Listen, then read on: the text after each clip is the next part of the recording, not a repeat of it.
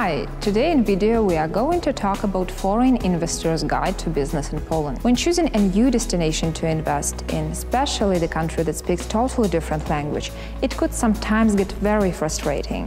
Fear not, today I'm going to give you the guide of investing in Poland.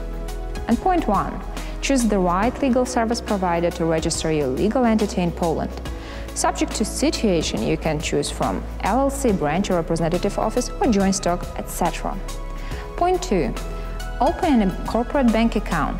It should be a simple thing to open a bank account, but it has become challenging for foreign investors with some banks.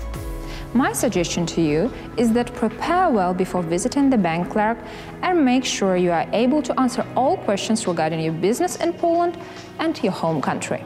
Point 3 find the right accountant that knows your business model to do the bookkeeping and tax reporting. Some Polish accounting firms are rather slow, and you may need to keep pushing to get the job done. Point 4. Hiring the right employees. You have the freedom of hiring anyone you want to work for your company, and there is no restriction to hire local employees only. Point 5.